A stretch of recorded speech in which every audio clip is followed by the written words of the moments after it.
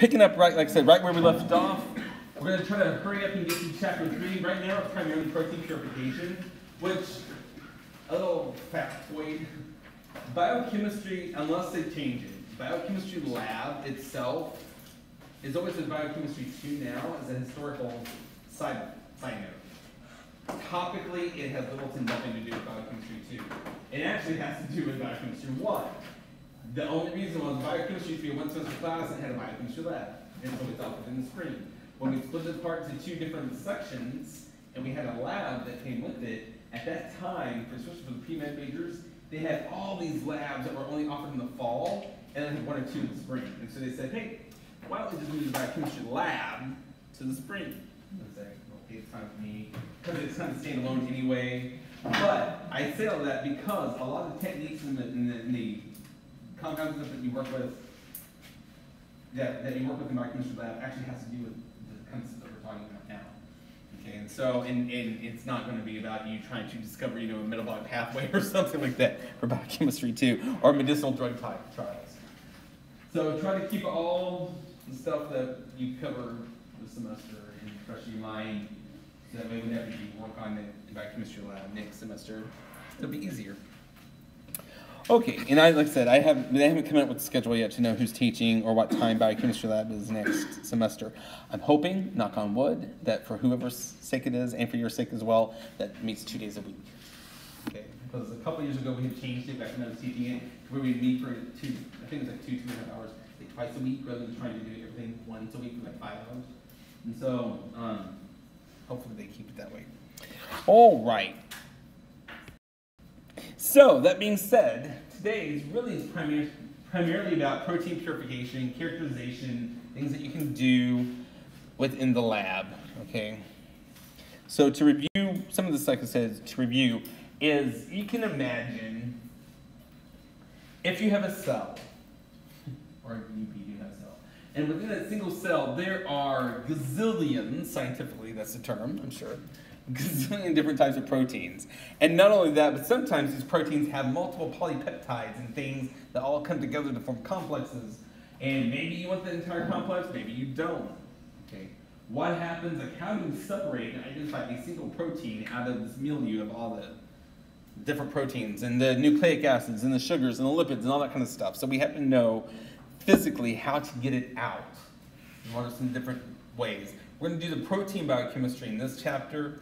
If we have time this semester, chapter 9 is where we work with nucleic acid biochemistry, which is where we do cloning and things like that.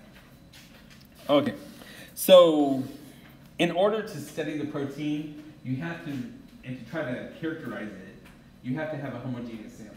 Otherwise, you don't know like what you're seeing is due to artifact or not. Okay, so there's to make a homogeneous sample, they do what they call isolation. Okay. And the term is called homogenization. Okay. Homogenization just literally means to break open that cell to get everything out of it. Because homo means the same, to make it the same mixture.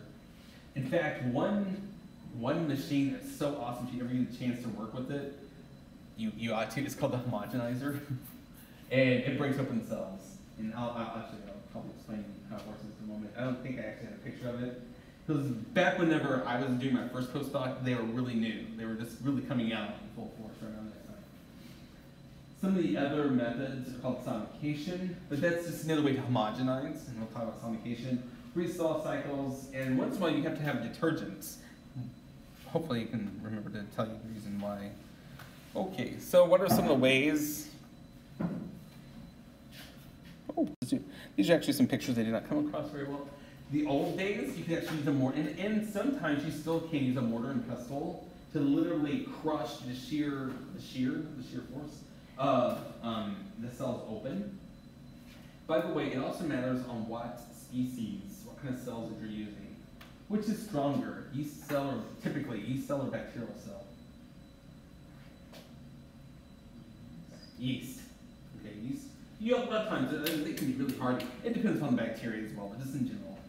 Okay. The second picture I have here, that's an old Waring blender. Like you can literally blend. If it's if you're doing tissue homogenization, like something from like the liver, you know, cut it up, you stick it in a blender, and you blend it. Okay. The one next to it is a sonicator. Now, I purchased a sonicator. We've actually used it. Some of you may be able to have a chance to use it. Uh, if you did research with me, we use. What does the sonicator do? How does it break open cells? Sound waves. Okay, and so that probe, and they different size probes, vibrates at such a high frequency, it causes the sound, the sound waves will cause the cells to break. The problem with almost all of these, especially this one, is that when cells break due to entropy, it gives off a lot of heat. Which what would be bad about, you know, we haven't discussed it yet, what's bad about giving off a lot of heat whenever you're trying to purify proteins? You can denature it, it can start to fall apart. And so a lot of times, if we did this in the Sonicator, if we did Sonicator, we actually have a cabinet we put it in. Move this up. We would actually do it this way. We would have a beaker with our material, blah, blah, blah, blah, blah, and that is setting in ice, in an ice chamber to help keep it cool. And you only do it for short pulses and things like that. now the homogenizer, is not on here, because it show you a picture of a homogenizer, would be boring. It looks like a box. Okay. But I'll talk about some of the other methods that use shear force. Other way to do it is called a French press. That is not a homogenizer, but I've had good luck with a French press in the past. Some people like it, some people hate it. What do you suppose a French press does? Has anyone used a French press not in science? Yeah, for coffee. It's same principle, essentially, except the, at least the ones I've worked with. What it is is you've got this. It kind of looks like a piston. You know, it's got this tube or a, a, metal cylinder, and it's got a little tiny hole. I mean, really, really small hole there. You put your solution in it, and then it literally has like a piston-looking thing that pushes down on it. It's like a like a French press coffee, and what happens is it's forcing all of the cells to go through a tiny hole, and so they literally squish each other. Kind of reminds me of an analogy in real life is like you never run in a chicken house? Has anyone ever been to a chicken house? uh, yeah, actually, at least once in your life. So where I grew up, it's like the chicken capital of the world, like the whole capital of the world, right? And so we have these huge, long, you may have seen them on TV, whatever, barns, like long houses that are holds that hold like chicken, turkeys, and it's not uncommon to have like a hundred thousand, you know, in that. But and so it stinks, it's hot, and big fans and little things of water that comes down, all that kind of stuff for them. But you don't scare them because if you run through it, they will trample each other trying to get out. Right? They'll push through. You know, it's worse than the Metrolink at you know at five o'clock.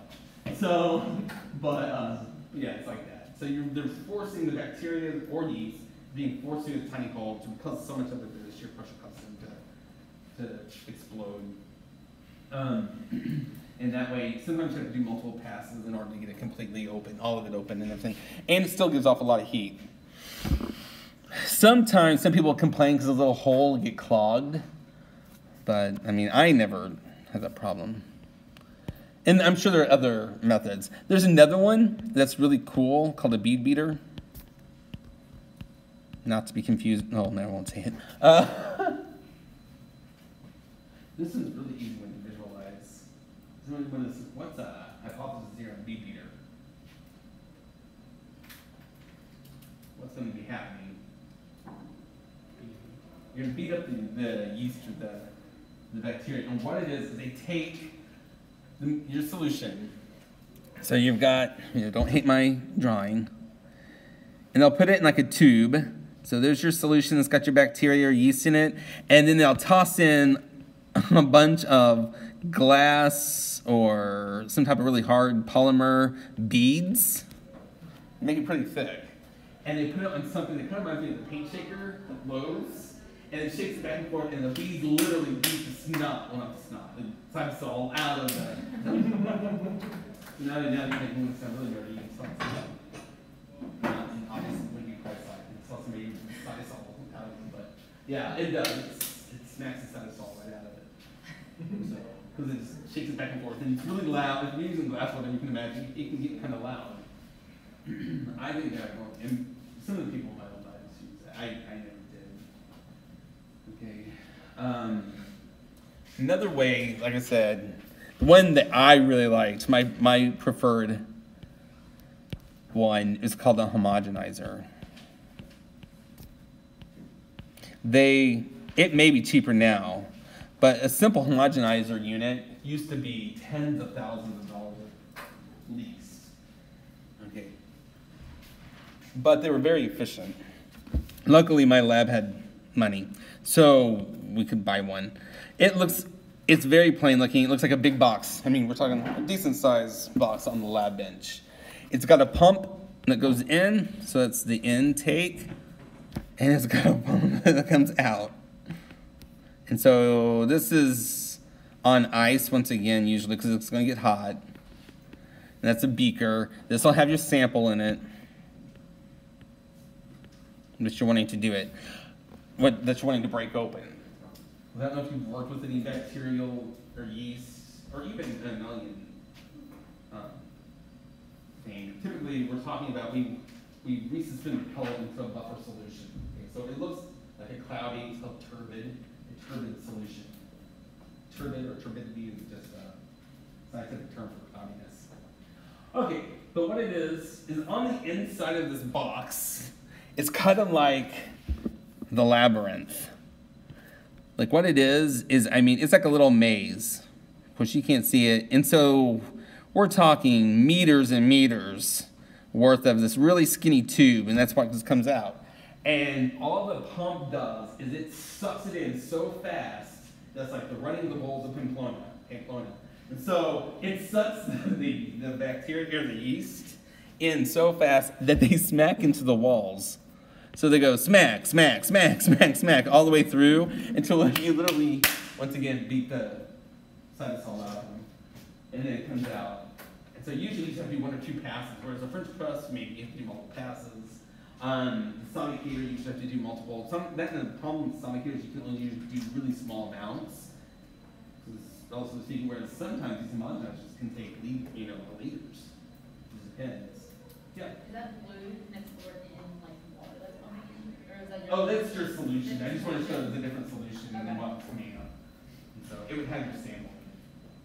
But yeah, it is, like I said, if you just look it up online, this is going to look like a box, but it's what's inside that box. Where they just have meters worth of little maze, like almost like a little corn maze or something that is like sucking it through. And I thought that top, top um, for this time of year. But then it pumps it out.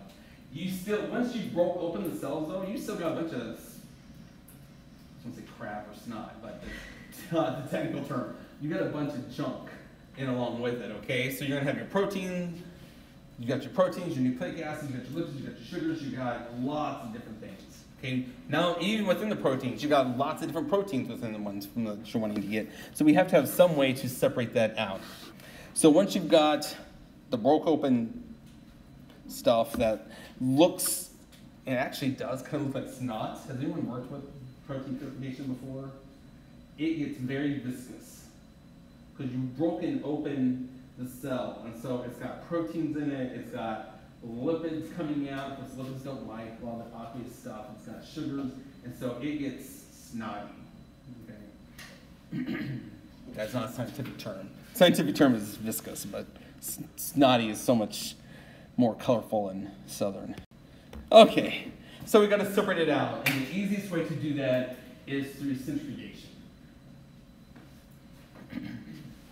I would never ask you to memorize the different RPMs, revolutions per minute, like what's going to come out of different parts. But you just take that big mixture of junk and you stick it in a centrifuge. And what this figure is, I think this one, I don't remember if this came out of your book or the old book, but it doesn't really matter. What they're showing here, oh, actually, this is a mortar and pestle. It just looks different than the kind that you're used to from the apothecary kind. Um, pharmacist kind. Um, but it's the same principle. But what they've done is they've broken it open. You could use homogenizer, you could use your heater, you could use some way to break it open.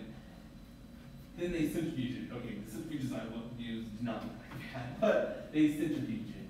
And what happens is at a relatively low, this is 600 G's, I think. Like I said, I wouldn't, ask you to memorize these numbers, but a relatively low um, speed. You're going to get a supernatant, that's the liquid portion, and you're going to get a solid out. And that solid right there is going to have nuclei. Nuclei are more dense, and anything that's unbroken, that's really dense. Because not everything may be 100% broken. Okay. Then as you spin the supernatant more,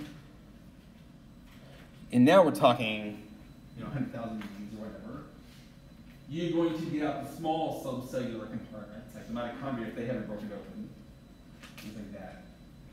And then finally, I mean, we would spin it, depends upon what you're trying to isolate. It's not uncommon to spin even beyond 100,000 G's for a while. And you're ultimately going to get the protein. Okay, the part has the proteinaceous portion of it. But you still have to get, and that's, that, that's this is assuming that your protein is soluble. Okay, so it is possible for you to have an insoluble protein. What's one reason? What's the main reason, or a main reason that you're going to have an insoluble protein? It's not going to be liquid. It's going to be in the solid here. Try to think about it. What is this liquid made up of? Like water, it's aqueous phase. So what kind of protein will not be in it? What kind of protein will not like water? Where would they be located at? And is everything in the cell aqueous based? No. What parts of the cell are not going to are going to be lipophilic, not hydrophilic? Cell membranes. Okay, membranes in particular. Right. So if you have a membrane protein, you're going to want to add detergent in. And the reason why is the detergent is soap. It's going to help wash them out.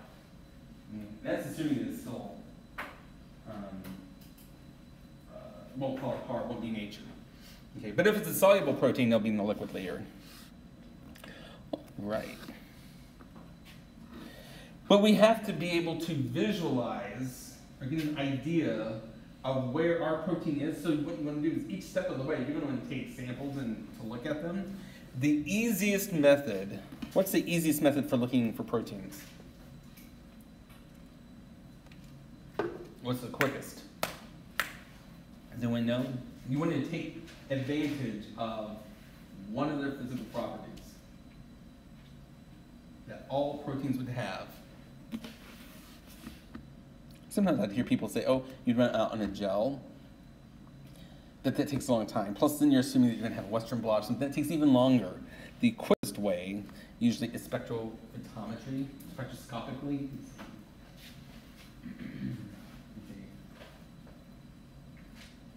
What are we using here? What instrument use, uses do you use for spectrophotometry? Yeah, this is one of those, um, Jeopardy has the dumb answer category. What would be the dumb answer for a spectrophotometry? Spectrophotometer? It's a spectrophotometer, yes. And typically for proteins, we want a UV vis. Because the spec, you can have an IR. That's what an IR spectroscopy is. Spectroscopy, spectrophotometry, is. Um, but that would be useful here. Usually we're looking at, we want the UV vis. There's a couple reasons why. One, they have written down here, is it's called the Bradford dye. It's a Coomassie blue. It's ink. It's just ink. It's a blue ink, like some blue pins. It binds to proteins, so you can use it to visualize and to get an idea off of a standard line to get an idea. But another reason why is proteins, the, the amino acids tyrosine and tryptophan, both are visible in the UV spectrum. They both absorb light at 280 nanometers. there are also other ones. There's a one called the Biuret method. There's Lowry's method, things like that. But the one that, uh, just in general, is either Bradford or or just using, using straight UV vis and looking for tyrosines and tryptophans. Because the parts that have more protein in it will have a higher absorption based off of the standard. oh, right. then we know what samples may have protein in it, but it may not be our protein. We want to separate all the proteins out from each other, ideally, right? So where we have a homogeneous sample. This is where, where I want to spend the bulk of the time, if at all possible. This is where we're going to use column chromatography. We're going to use different chromatographic methods. Is so important. We did this whenever I taught, of course I didn't have most people organic chemistry.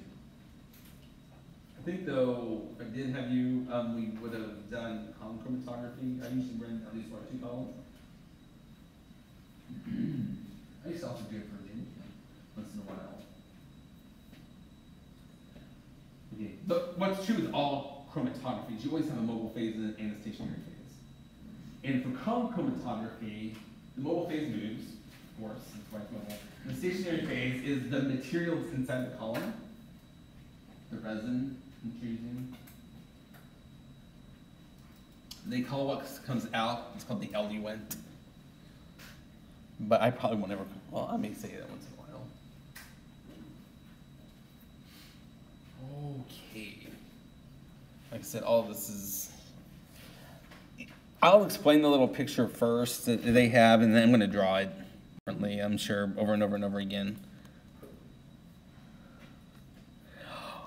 Okay, like if we were able to do it for organic chemistry, we usually res resolved, resolved resol resolution or resolving something and separating it out. We would usually do the resolution at two dyes, like a fluorescein dye and Coomassie blue or some other type of blue dye. And when they're together, they're green. Of course, as they separate out, you can see the yellow and the blue come out differently. but the whole idea here is you have a sample that's a mixture of things. You've got this column that's packed with some type of resin that's going to utilize either a chemical or physical property. And things will separate based off of how well they like or dislike the column's resin, like the stationary phase.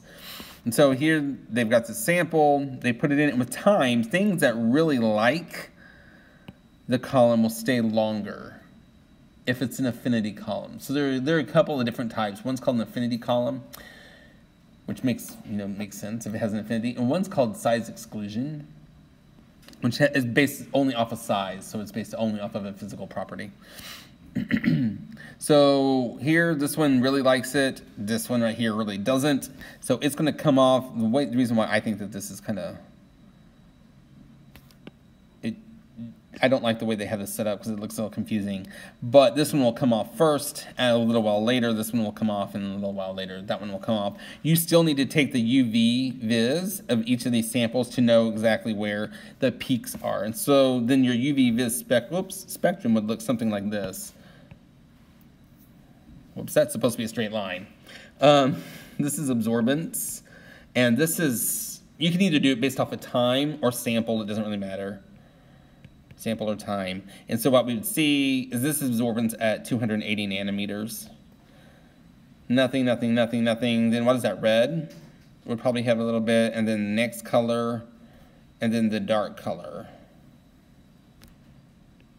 You know, so that's ideally. Because then you could say, oh, look, we can now separate out, the, pull these samples together, pull those samples together, or pull those samples, where, run them on gels, do, this is where you'd want to do your Western blotting and things like that. So that's just generic. Let's call, let's call chromatography generically. So that being said, what are some of the things that we can do? Which, which one did I do? Oh, I did gel filtration first. Well, I don't like that. I wish I would have flopped them around, but I won't. I'll go in order. One type is called size exclusion. What do you suppose is going to be separating things off of? Its size. It's also called gel filtration because the beads, the resin, typically they're gel based. They don't have to be, I guess, but typically they have some type of gel base. This is what it looks like. I've got another picture coming up that'll probably be better than mine, but this is our column. The whole idea is you've got these beads or this resin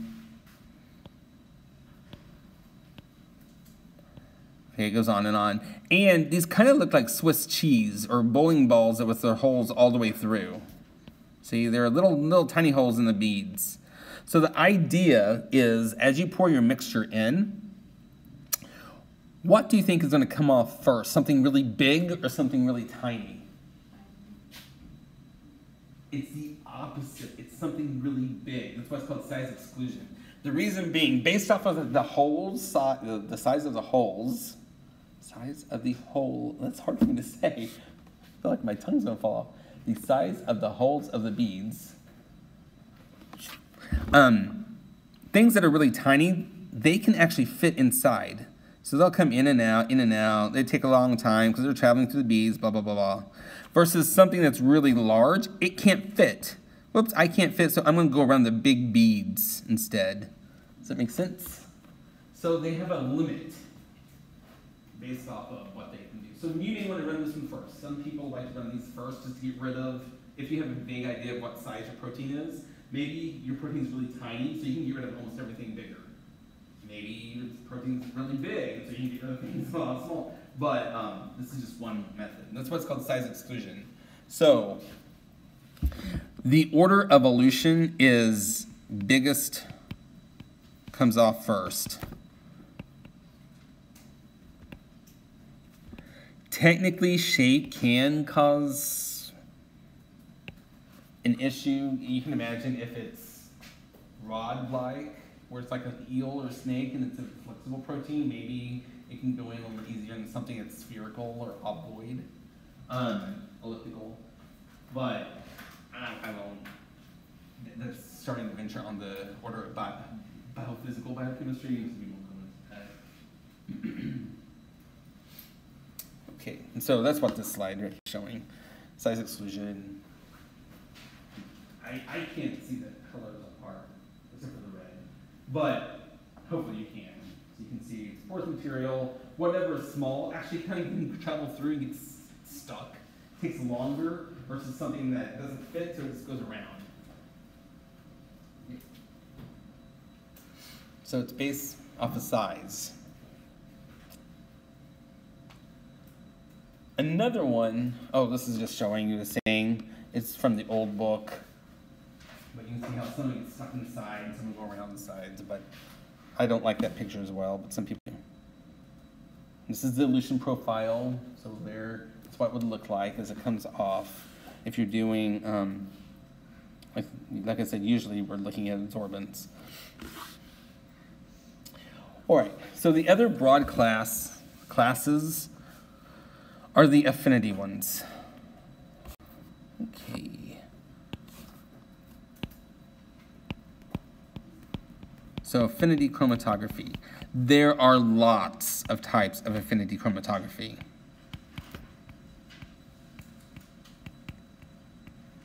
What do you suppose it's going to separate things based off of?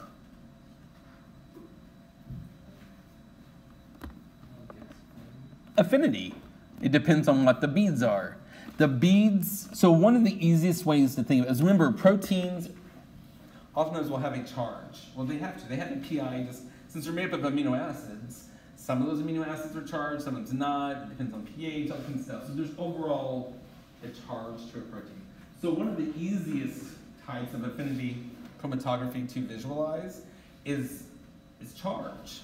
So you can imagine, and they make these columns. Like I said, don't judge me because I'm such an amazing artist. So here's the bead. The bead's got a little linker that hangs off of it and an ion. For example, it hangs off of that. So maybe it's a phosphate. That's just one example. So I'm just going to rather draw out the phosphate. It's negatively charged, phosphate is. Obviously, you can't just have phosphates by themselves. So when you pour the column, the phosphate's going to have something like sodium or magnesium, you know, something, a positive charge to balance it off. But you know, this is all over the place. There are these, these beads make up the entire column. I'm only showing it like this, just because, it, well, that's supposed to be straight line, just because it's going to be easier to draw. So as you add in your, your sample, what proteins are going to want like that column? Positively charged proteins. And so if it's a positively charged protein, it's going to get stuck. I'm just gonna do them as plus. If it's a negatively charged protein, it's gonna go right on through. If it's relatively neutral, it's gonna be, it's not gonna get stuck as easily.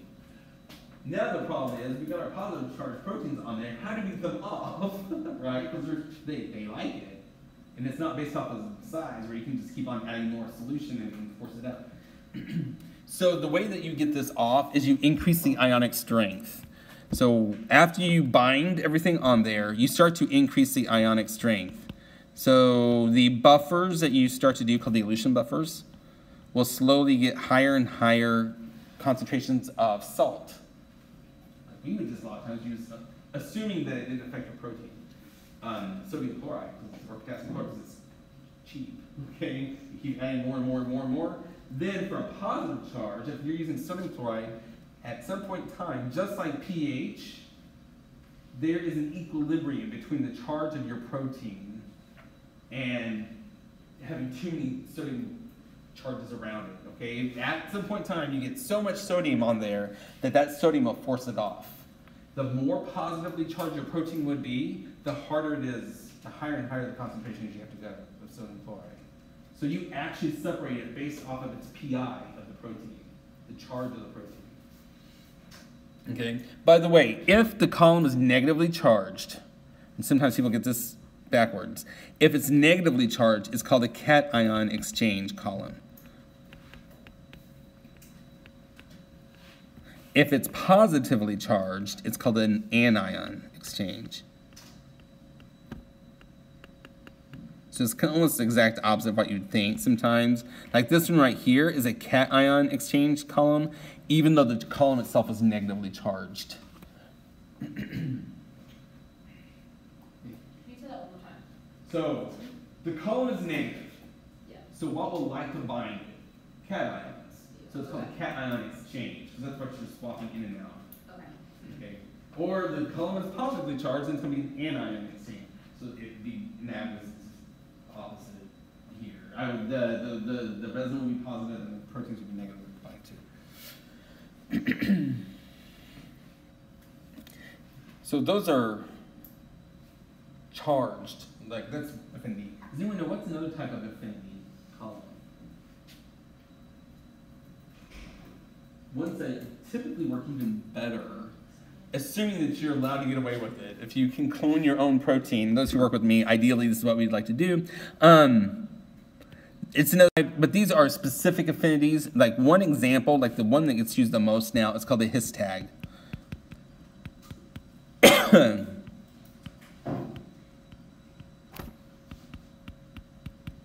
his tagged protein purification. It's just a special type of affinity column. So here, if you're able to do it, and you're able to clone your protein into a plasmid, an expression vector, you can get these that are called his tags, where on either the N terminus or the C terminus, they put a bunch of histidines in a row. Usually we're talking 6 to 12 histidines in a row. I'm just going to use the one letter code for histidine, and the one letter code for histidine is H. That was one of the questions on the quiz. Okay, so, so we've got a bunch of H's in a row here on one end. Well, there's just some special property with histidines. I'm not an inorganic chemist, so I couldn't tell you why. But even though histidines tend to be positively charged, when you get a bunch of them together, they can form a special shape, and they love nickel. okay, like nickel and cobalt. Okay, cobalt, they love cobalt even more, but cobalt's more expensive. And so what you do is you get these columns, and now they're relatively cheap, but on the very end is nickel. Or, or cobalt 3 plus, like I said, that's called the, the, the brand name for that used to be called a Talon, T-A-L-O-N, Talon, because it reached out and grabbed me. Um, column, that's supposed to be 2 plus. But nickel, and his, the histidine tag will bind really tightly to that nickel column or that cobalt column. And then once again, the way to get it off is you have to add really high concentrations, but this time not of salt. What would you add high concentrations? Since it's not, histidines are not, it's not like a positive, an electrostatic, a plus and a minus charge is binding. It's a histidine that's binding. So what can you add to compete with that his tag? What makes sense? What would you be adding to try to knock it off? This is a special property of histidines.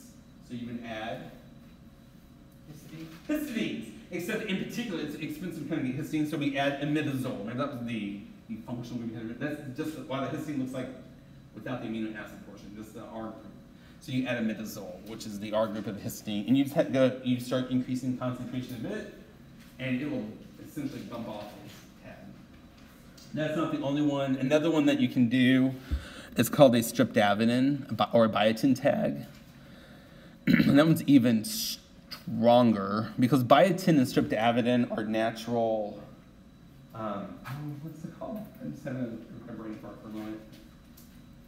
I can almost like uh, they, they bind. They're proteins that bind each other on the order of magnitude of an of antibody binding to its antigen. So we're talking like 10 to the power minus 15. I mean, it's hard. They almost covalent. Okay. And so usually the way to get that off, sometimes you have to actually cut it off. You can use a protease. But there, there are other ones, other types of tag. One's called a Myc tag. One's called a flag tag, where you actually have an epitope that binds. But you can imagine an epitope and the, the antigen, or the, the antibody, they bind so tightly that they recognize each other really well. So typically with those, you have to cut them off to call them a protease, which we'll talk more about that later. Those are affinity columns. And so this is just a little blurb that says all of that, that same thing that I've been saying. And that's what it's trying to show, which I think is really ugly, but you can see it. Okay. Uh, ion exchange, we've already talked about that. That's the specific affinity ones that are cation and anion exchangers. And so there are pictures here. So for the rest of this chapter, or the PowerPoints I have on there, the only thing that we haven't covered that um, I may try to go is just explain electrophoresis in detail. You may have done it, but just make sure you understand it. It does talk a little bit later on about um, degradation, but due to time constraints, I'm not going to quiz you or give you a test over Edman degradation just because we don't have enough time. Okay,